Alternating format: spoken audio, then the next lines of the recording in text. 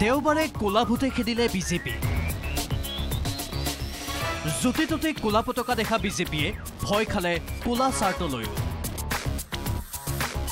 ক'লা চাৰ্ট পিন্ধা সাংবাদিককো সোমাব নিদিলে অমিত শ্বাহৰ সভাত হয় এক প্ৰকাৰ বিড়ম্বনা। দেওবাৰে নিদাৰ সভালৈ অহা বিজেপিৰ ৰাষ্ট্ৰীয় অধ্যক্ষ অমিত শ্বাহৰ আগমনৰ বিৰোধিতা কৃষক মুক্তি সংগ্ৰাম সমিতিৰ। নাগৰিকত্ব সংশোধনী বিধেয়কৰ বিৰোধিতাৰে অমিত শ্বাহক ক'লা পতাকা দেখুওৱাৰ পৰিকল্পনা কৃষক মুক্তিৰ। এই উদ্দেশ্যে ঠায়ে ঠায়ে সমবেত কৃষক মুক্তিৰ কৰ্মী সমৰ্থক। ক'ৰবাত যদি ক'লা পতাকা ক'ৰবাত আকৌ ক'লা বেলুন। মুঠতে দেওবাৰৰ দিনটোত গুৱাহাটীৰ চাৰিওফালে কেৱল ক'লা আৰু ক'লা। কৃষক মুক্তিৰ প্ৰতিবাদৰ ক'লা বেলুন ক'লা পতাকা দেখি ভয় খোৱা বিজেপিয়ে ভয় খালে সাংবাদিকে পিন্ধি যোৱা ক'লা চাৰ্টলৈকো। ক'ৰবাত কোনোবাই কেনেবাকৈ অমিত শ্বাহক দেখুৱাব নেকি ক'লা পতাকা? প্ৰেক্ষাগৃহৰ ভিতৰতো কোনোবাই দেখুৱাব নেকি ক'লা পতাকা?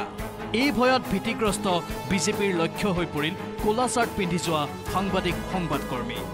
সোমাব নিদিলে সভাগৃহত।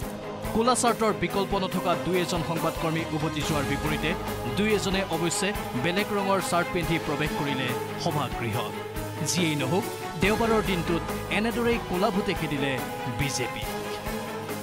Bureau' report news eighteen Assam north east